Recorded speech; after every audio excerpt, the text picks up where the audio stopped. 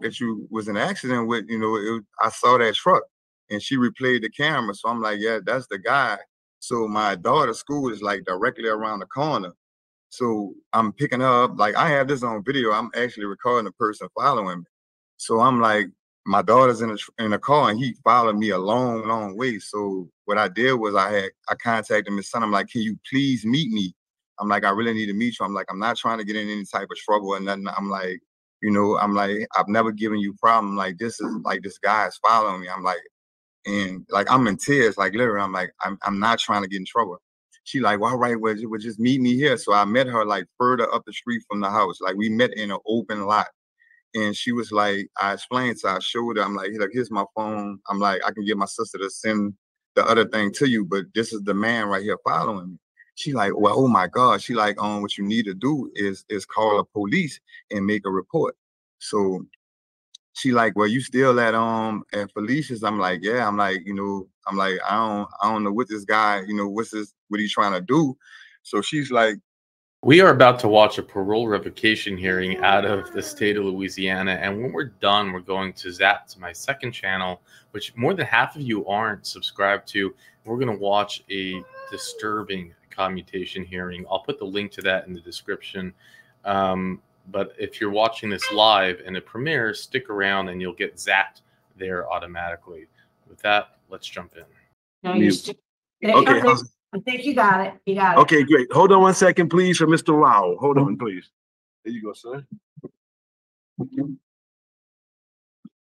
Rao, good morning. Good morning. Do you uh, introduce yourself? Tell us your name and DOC number. Um, James Rao, 363824. All right, and you have counsel with you this morning. We'd like to counsel. Will you introduce yourself? Good morning. My name is Anna Friedberg, and I have the honor of representing Mr. Rowell today. Okay, thank you. So, um, Mr. Rao, the way this is going to work, I'll read the allegations against you. After each allegation, you'll enter a plea of guilty or not guilty. Then Mrs. Ledoux will be asking, she'll take the lead on asking you some questions. Uh, if there are no other follow-up questions, we'll ask you if there's a statement you'd like to make before we turn it over to Ms. Friedberg for her presentation. Yes, ma'am. I do see we have a couple of speakers. Do y'all have the list? Uh, at the appropriate time, we'll uh, allow those who've indicated they'd like to speak to do so. You can see them on the screen. I don't have their names yet, but it's coming. So you are accused of violating the conditions of your parole, specifically condition number four. And it says you failed to refrain from engaging in criminal activity as illustrated by your arrest by probation and parole on August 8, 2022, and you were charged with possession of a firearm or weapon by a felon, illegal carrying of a weapon with a controlled dangerous substance, possession with intent to distribute marijuana, possession with intent to distribute Suboxone, and possession with intent to distribute MDMA. On December 12th, 2023, uh, the jury found all charges to be not guilty. How do you plead to violating condition number four? Not guilty. Okay. Then we have condition number five, uh, which states you fail to refrain from not having in your possession or control any firearms or dangerous weapons as illustrated by your arrest by probation and parole on August 8, 2022, and charged with possession of a firearm or weapon by a felon and illegal carrying of a weapon with a controlled dangerous substance. How do you plead to violating condition number five? Not guilty. And lastly, there is condition number ten, and it states you failed to keep your supervision fees with the state of Louisiana current, and you're currently in arrears two thousand two hundred and five dollars. How do you plead to violating number ten? Not guilty. Okay, would you answer Mrs. Ledoux's questions, please? Good morning, Mr. Rowell. I don't know if it's morning or not. Seems like it. No, it's afternoon. Good Um, afternoon. so, um, you were on, um, were paroled in twenty eighteen, is that correct? Yes, ma'am. What was the ad, address that you supplied to your P, uh, parole officer when you went on the street? Um, it was Crowder. I don't remember the exact. It was And on then- Crowder. and then you changed it. I saw in the notes where you changed that address, and what Yes. address change it? I had changed it to forty-five and I made a change after that as well. Did you report that to your probation officer? Yes, ma'am, I had did it on two separate occasions. She told me that the, the office was flooded and she wasn't able to do it at that particular time. That was the first time I had tried to switch the address. The second time was I had contacted her. We met at a, a location that she had had said, and I was being stalked by somebody and I made a police report. So she was like, Well, just call the police. And she made me download Google Duo. Um, my lawyer should have the police report that she told me to make and like I feared for my life. Like I was in tears telling her that I I didn't want to be nowhere around that area because I have to pick my daughter right around the corner from there. Like I have the actual video of being followed and everything. Like all that's in the police report. The police have all that. Okay, so when you talk about she, the parole officer, That's what? Mrs. Sun. And son? Yes, she she had gotten my case. I was on parole with a Mr. Garrett, Right? and she took took his caseloads over. But I had explained this to her, is is in the record and like the video, the police report, everything. Okay, so I have no record of you changing your address. In the, um, the dialogue that we got from Yeah, the probation officer, which causes a problem in this situation because when she told you, if you're telling me correctly, she said, meet me at your home, and you went to Wilson Street. Is that correct? Yeah. She had called. She didn't call me. She called my fiance. Felicia? Like, yes. Um, my lawyer also have the the actual cell phone records. Like, it was no call ever to me. I had um, I gave up my my location. I gave up all my phone records to the court and everything. But you recorded to, Yes, I, she told me to meet her. She said meet meet meet her at the Wilson address. I met her. I met her at the Wilson address. I've never entered the house. They have video footage of that and everything. why would you go, why would she tell you to go to the Wilson address if she knew that you had a different address? What was this address you were living with, uh, living with? was the the address the address I was living there was a night hall address. Is is forty? Okay, so that, that address does not appear anywhere in my record. Yes. And you so you, all right. let me, let me speak for a moment, please. Um, I'm reading from the narrative. Um, Felicia Bruno called and asked about lifting the hold, told her it wasn't happening. We were the ones that made the arrest. She claimed subject moved from that residence about a year prior and only went to the address of record that morning because Agent Sun said to be home at that address. But if she knew that you were not living at that address, why would she tell you to go to that address? I think the the DEA wanted access to that particular house, and they used Mrs. Sunup to be able to access that house.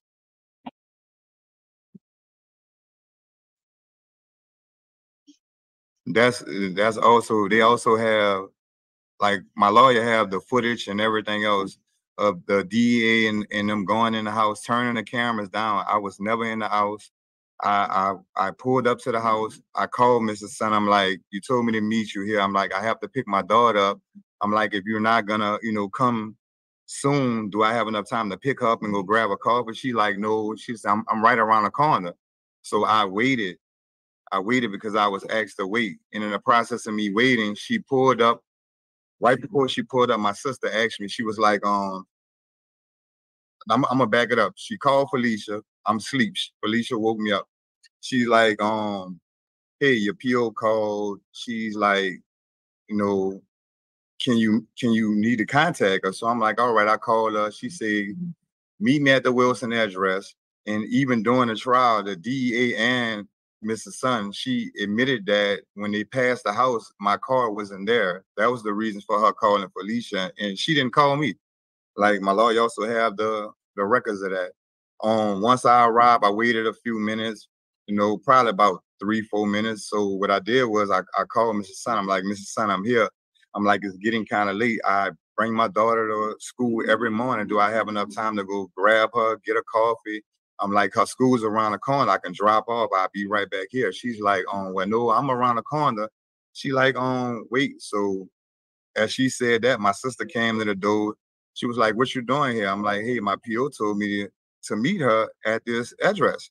She And was the like, last time you had been at that address? How often did you go to forty-five oh one Wilson where your sister lived? I I had I used to visit my sister at one time kind of regularly. I had stopped going like six months in advance. You know, that's around the time of the police report. I had I got into an accident and like my sister have cameras uh, like all around the house and throughout the house. But the person I had the accident with was showing up there stalking. So I'm like, she my sister like, hey, that truck that you was in an accident with, you know, it, I saw that truck and she replayed the camera. So I'm like, yeah, that's the guy. So my daughter's school is like directly around the corner. So I'm picking up. Like I have this on video. I'm actually recording the person following me. So I'm like, my daughter's in a in a car and he followed me a long, long way. So what I did was I had I contacted his son. I'm like, can you please meet me? I'm like, I really need to meet you. I'm like, I'm not trying to get in any type of trouble and nothing. I'm like, you know, I'm like, I've never given you problem. Like this is like this guy is following me. I'm like, and like I'm in tears, like literally, I'm like, I'm I'm not trying to get in trouble. She like, well, all right, well, well, just meet me here. So I met her like further up the street from the house. Like we met in an open lot. And she was like, I explained to her, I showed her, I'm like, look, here's my phone. I'm like, I can get my sister to send the other thing to you, but this is the man right here following me. She like, well, oh my God. She like, um, what you need to do is is call the police and make a report. So she like, well, you still at um at Felicia's? I'm like, yeah. I'm like, you know, I'm like, I don't, I don't know what this guy, you know, what's this, what he's trying to do. So she's like, well, just call the police and keep me informed and let me know what's going on. So I I I, called the police. I made a report. They came. They came to the house. They came to to, to me and Felicia's resident. He took my statement. He was like, "Man, I've never saw that." Even my my my attorney, my civil attorney, he even reached out. He was like, "Man, I've never saw nobody really stalk somebody after an accident." So I'm like, yeah, I'm like, I told him, like, I explained it in my PO. I'm like, what I'm gonna do is I just have my sister to like grab my daughter since my niece goes to the school and just meet me like away. I'm like, I ain't trying to get in trouble. He knows my car. Like, you know, everybody know I, I drive the Genesis. So I'm I'm like, all right. So I, I did that and I just stayed away. Okay, so your sister. You. You asked this question. I mean, it was obvious that there was guns and drugs in your sister's home. If you had been living there and the same activity was going on with drugs and guns, then I- you were a felon in the presence of guns and drugs. I've, I, ma'am, I've, I've never, I've never been in the present. Like some people moved. My sister had people that she rented to the the, the room to prior to me leaving. I was I was going there for a very extended period of time. Like I've never been involved in no type of criminal activity. I've I've never even had a tech. Like my other people been in the house and and when I was staying there numerous of times, like even during trial, Miss Sun said herself, like, hey, this guy's one of the most respectful people. She even told me, like, she came visit me and she was like, hey, um, I'm like, you know, this have nothing to do with me. I'm like, you know, my my my sister's getting with the people. They're gonna come down here. They're gonna sign the affidavits and everything else. She was like, well, all right, just let me know and I I help you out. And she Well, doesn't see work there the- no I more. see the letters, I see the letters of these people indicating that it was their pills and drugs. They ever get arrested? Um, I don't know. I just know some Only- people that was in one. I know one of the guys in the room is. I think he. Well, two of them went to jail. I know another one. I think he's deceased or something. Like I don't. I don't really know know them like that well enough. My sister probably can inform you more on it. Like all I could tell you is basically what what happened with me, ma'am. I I honestly like You don't know these people. These were not. I really no, I don't know. And one of the guys come to find out he was on one of the men that came that he was actually a parolee of his. Like I, you know, I was the only one. It was like seven or eight people they pulled out the house. like they went in there. I'm the only one they brought to jail, and I'm asking them. I'm like, I'm asking her. I'm like, why? Like, why is this here? I'm like, I have no knowledge of nothing that's going on in there. She was like, because I'm on. I only could take you to jail because you're the one on parole. Nobody else there. So I'm like, well, how is that even like possible not to arrest nobody else? Let me ask the question. When they went to the house and you were outside, did you ever enter the house with them? No, ma'am. Inside the house while they were doing the search? I, I never entered. They, an- the, the police asked someone in the house, which one was your bedroom? And they said, the end of the hall on the left. And I that's don't. information. That that's another question that came out at trial. They asked, I think they asked, it was my sister, they asked, it was asked what room that he stayed in during the Sure. time he was living there. She was like, Well, he haven't lived here in a minute. But it was like, Well, what room? She was like, The, the room is being rented to somebody, but he stayed in the back bedroom, I think on the left. That's what I read. Yeah, Uh, she Were you ever, um, reprimanded while you were on this period of supervision? no ma'am. I I've I've I've never had a tech.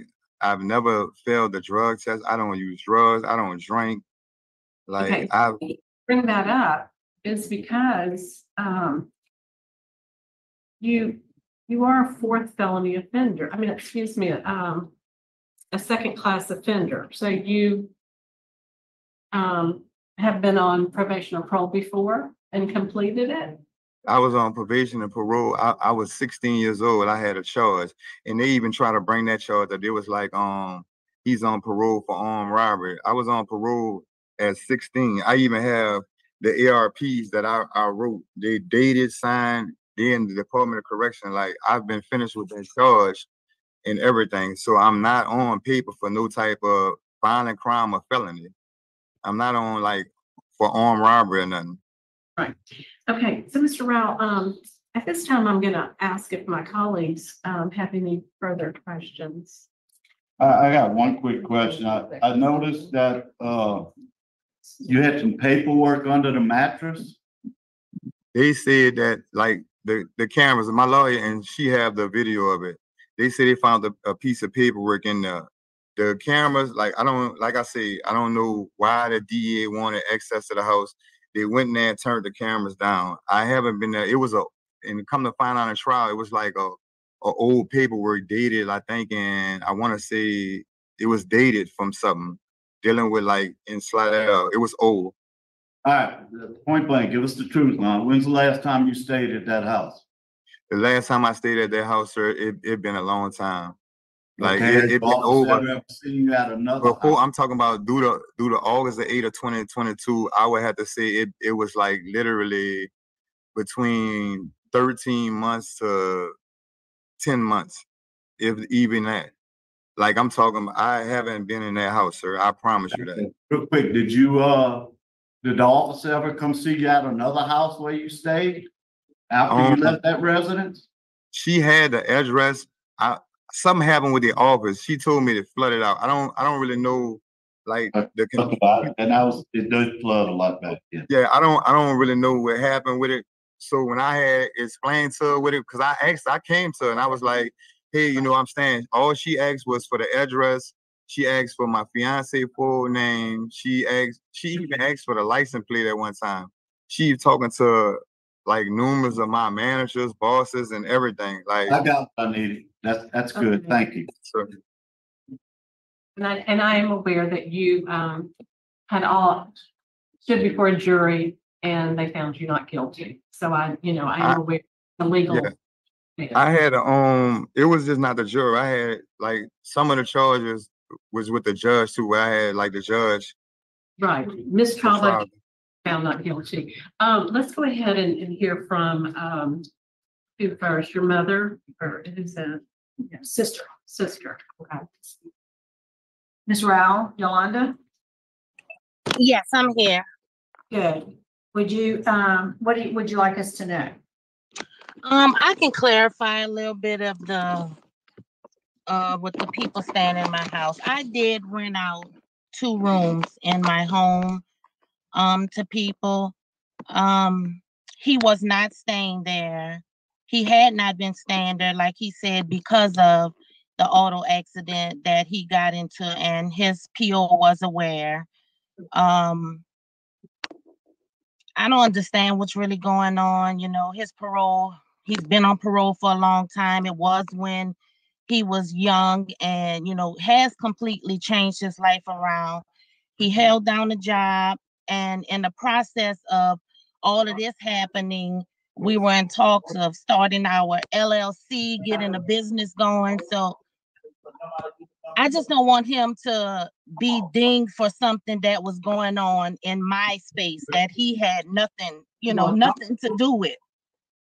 to go in the other one, to jump to the other one, to jump out the other one, to jump out the street, and the last gate, to jump out the last gate, that's fine. Felicia? You gonna be tired, you know what I'm saying? Like, Yes. Uh, Is there, wait, hold on, uh, Mr. Rowell, is there a door open behind you or something? We get a lot of feedback. Oh, excuse me. Yes. I think I can come a little bit. Y'all can bring you. it down a little bit, please. I'm, I'm sorry. Thank you. Okay, Miss Miss Bruno? Yes, you can hear me? Yes. Yes, hi. So yes, um, just to clarify everything that he stated, he has been living with me over a year. He he probably moved in of like April of um 2021. We got engaged of December of 21. So yes, he was living with me up until the time of the arrest. It was very strange the morning of the arrest that his PO didn't even call him first. She actually called me. I never knew the number, so I, I just missed the call because it was like six o'clock in the morning. And then once I missed missed the call, she actually texted me, and I looked at the text. She said, um, "Hi Felicia, this is PO um, and son. I'm looking for James." So at that moment, I woke him up. I said, "Your PO is texting me, looking for you. Why she calling and texting me?" He said he don't have a clue. So at that point, he did call her to see what she needed and what she wanted, and she asked him to meet her at that address. Um, I'm really confused today as the day of that happened, why he was arrested. We all confused what happened. When he pulled up and they searched him and his car, they never found anything in his possession on his personal space. Like Miss Yolanda said, um, the room that was found had other adults in it that day of the arrest. I think two of the guys that they found sleeping that morning was the guys who actually say the item was theirs. So, you know, I did call her that evening, his PO, to see what was going on and why he was arrested and why she, the hold was on. She said she couldn't take the hold off and he has to just go through the process. And I'm like, I'm not, I'm not understanding why he's been arrested. It was nothing in his possession. So yes, I feel like it's been 19 months he's been away from his family. He's been innocent. He's been proven innocence in the court system by the jury and a judge. And he's been away from his family, missing everything. Um, and he's a great father. He's a great stepfather to my kids. The kids ask when he's coming home every day. And it's just been a long nightmare roller coaster for him. And he's very innocent. So I really appreciate if you all would just um, find him not guilty because, like I said, none of this was his and he hasn't been living there in over a year. I'm not sure why she didn't change the address. And I'm really don't know why she called me that morning, you know, looking for him. She never even called him. Okay, all right, thank you, thank you, uh, Ms. Bruno, we appreciate your input. I don't see any other questions, so, um, Mr. Rowell, is there anything you'd like to say to us before we, uh, turn it over to Ms. Friedberg? Well, like, I, I truly miss my kids, my fiance, and my family. Like, I pray by the grace of God that the board find me not guilty. Like, I, I have no knowledge or involvement in any type of criminal activities. Like, I don't drink, I don't do drugs. Like, I really work and spend time with my family. Like, they, out the people they pulled, they had like three people staying in that room. Like, they got camera footage of all this here. Like, I could see if if I was guilty, like yeah, like but it's so much stuff going on. Like I'm 45, like my, like my grandmother have had a stroke. Like my fiance just had two major surgeries. Like I have a son that just dropped out of college. He's dealing with depression about me being in here. My daughter's going through all kind of stuff. I'm I'm innocent. can you please take in consideration of what my family's telling y'all and what my lawyer's about to tell y'all? She have the the proof, the videos. Like I I wasn't doing nothing wrong. Mr. Garrett could tell you the the the the PO I had before this lady. Like I don't even know why she's going to the extent that she going. She working for the same people right now that came in the house. Like I Okay, look, we're gonna, we're gonna go ahead and hear from Ms. Friedberg now, okay? yes yes ma'am. All right, Ms. Friedberg? Yes, good morning. Thank you so much for uh, hearing from me. Um, I've known Mr. Rowell and his family uh, for the last uh, few years, um, well, since he's been incarcerated 19 months. Um, he, you know, uh, uh, just on a, guess more of a little bit of a personal note, um, Mr. Rowell is a very kind and gentle person. He is a quality human and someone, you know, I've been in this business for 28 years. Um, you know, watching, talking to Mr. Rowell about what was going on with him prior to this um, false arrest, uh, he was doing really great. Um, he was holding down, I believe, about four jobs. He had a job with the city of New Orleans uh, as a tower and hall monitor. He was working for a construction company, Cycle Construction. Uh, he was also starting this LLC with his sister uh, called Tasty Wagon LLC. Uh, and um, he's also a poet. He was performing poetry. Um, he is a gentle and kind man. With regard to the the problems um, about his address, um, I would submit to you that this is more of a paperwork issue that his agent Annie's son knew very well that he had been staying with Felicia Bruno, that they were engaged.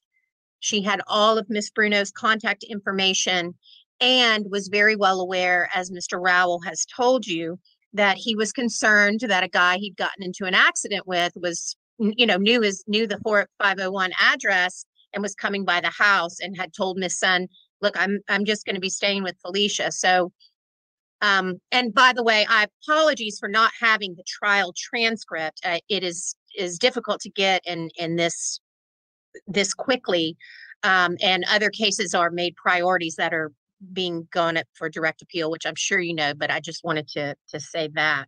Um, but all of these things uh, came out at trial, um, and and so I guess you know the jury and the judge did find him not guilty, and I understand that you know innocence and not guilty aren't necessarily the same thing.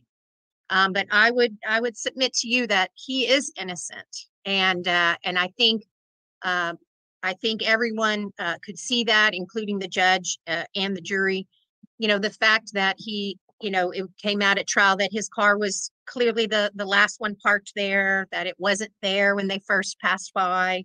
Um, they searched his car. They searched him. They did not find anything unlawful uh, on him.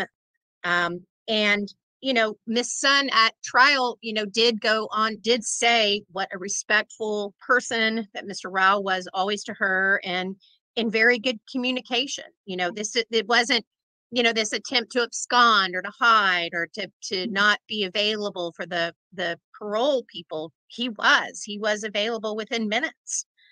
Um, and so uh, you know, I guess, you know, I I can go through um, how the evidence came out at trial, if you would like that.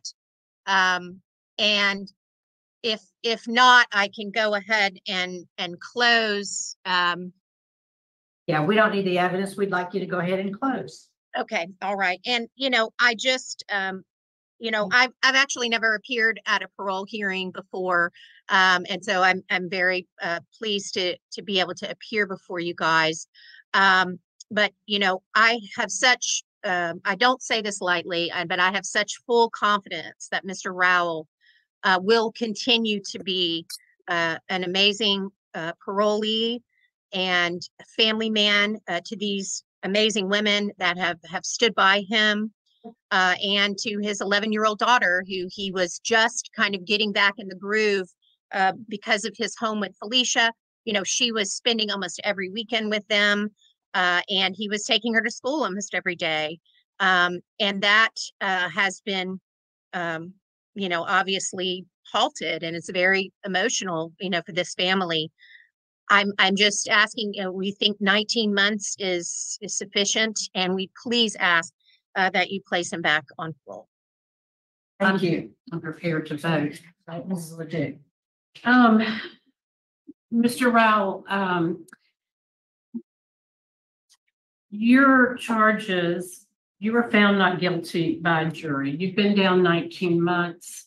You have, in my opinion, a stable uh, plan going forward in terms of, um, housing and support system. Um, no other violations are before me. I think we've resolved those adequately, so my vote today is do not revoke.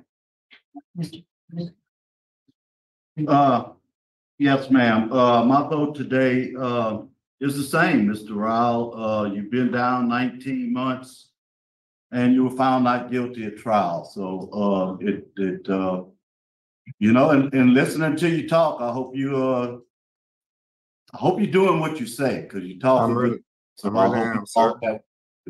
I'm Okay, really am. I'll not to vote today. Okay, Mr. Rowell, and I do agree with my colleagues. My vote also today is do not revoke. So we're going to return you to supervision and wish you well. Good luck to you, sir. Thank you. Thanks, everybody, for your participation today. Thank you so much. Thank you. Now can you put it on? Okay, I'm actually proud to say that I I believe that I followed what happened in this hearing, and I have to admit, the first time I listened to it, I had no idea. So I listened in one second. I'm with my little one, and he wants to watch Paw Patrol, and we will have him watch Paw Patrol in a minute. I just want to say this is what I think I figured out what happened in this hearing.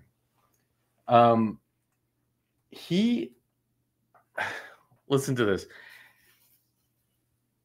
the the police wanted to get into this apartment his sister's apartment because she was renting it out to people who you know had illegal weapons and narcotics. And and to do it because you, you you they couldn't get a search warrant for whatever reason they took a shortcut and said that he is staying there. They asked his parole officer to go into the home to do the search because parole officers parolees don't have the right to refute a search they lose those rights and you don't need a search warrant so, and this is what his even attorney said with a straight face. And I don't know if you saw, I, I, I use the zoom in feature. I'm playing around with these zoom features now. And that's why I zoomed in on the parole board's faces. They, they all looked at each other like, what did they just accuse them of doing? They accused the police of making a fault of, of getting his parole officer to claim that he lived there, even though they're claiming he did not, so that they can go inside of that house without a search warrant. And if that's true, that's crazy. I mean, that is different level like corruption, right? But I kind of believe it. It's so bizarre. It's so ridiculous that I I think it could be true because who would make that up as an excuse? And even his attorney was saying it with a straight face. Um it's believable though. And the only thing they found that even they claimed I think belonged to him was an old docu- piece of paper. And he won in court. He went to trial. He's one of the few. You know, we see it all the time where people are like, why did you plead guilty if you were innocent? And they always have different excuses. My attorney said I could plead to a misdemeanor. I didn't think, you know, I- it would take so much time. But here's a man who actually, over a year, went to a jury trial, was found innocent, and um, and I and I believe him, and that's unfortunate that that uh, there was a lot of corruption that could have gotten him locked up. And I don't know exactly what he did. We don't have the info. His, his name's too common um, to pull up information, but this was also a case that we were able to see the new parole officer in action. It was her. It was her case. What do you, how do you think she did, Jerry Ledoux? Um, so if you're curious about her, she was her, she- was on the bo- board of paroles for five years. Um, we never saw her, but she was on the board for five years, and um, she took advantage of multiple association parole authority training events during tenure of the board. She earned her MS in communications, University of Louisiana Lafayette, where she wrote her qualitative thesis and stakeholder there. Medical parole Paw Patrol on a roll. Recently was served as a, a blah, blah, blah, seven years a congressional liaison United States House of Representatives. I thought she did well. I, I, I'm enjoying her so far. She's kind of like soft spoken, but doesn't seem like a pushover, but it's still early. Anyways, tonight we did a very short hearing um, because we're going to jump over to Connecticut for about an hour and a half hearing. So um, I want to keep it short. If you haven't, more than half of you aren't subscribed to my second channel. It could be because there's confusion. I use the same logo, the names are similar, so maybe you haven't realized it yet. But we're gonna, it's gonna beam us up automatically there. You don't need to um, to, to do anything. Uh, but if you're not watching this live, I'll put a link to it in the description. It's a very that hits me. As he's looking at like, um, it's a it is a very scary case. It's actually about a, a man. I say a man. He he he was one week before his 18th birthday when he committed this mm. crime, and that's why he has a chance at commutation. He sexually assaulted and murdered his four-year-old cousin. So if you can imagine, yes, a, a man has a chance at freedom. It's a disturbing case. We're gonna go hop in and see it now with that, I'll let you go.